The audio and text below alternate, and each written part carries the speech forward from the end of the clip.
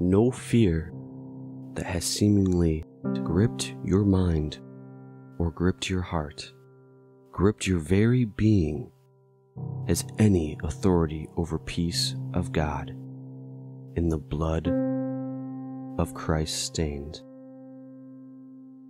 If he resides in you and your heart, fear has to run and flee and hide. Take authority in what you have. Speak to those fears to be removed. Speak to those hindrances. Let them be cast aside. For he is giving you courage and has made you brave.